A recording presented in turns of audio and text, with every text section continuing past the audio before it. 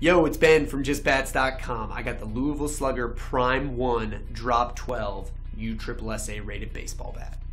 This bat, it is a one-piece all composite bat, composite going from the end cap down to that knob. It is also going to have a drop 12 length weight ratio, which is going to make it very light.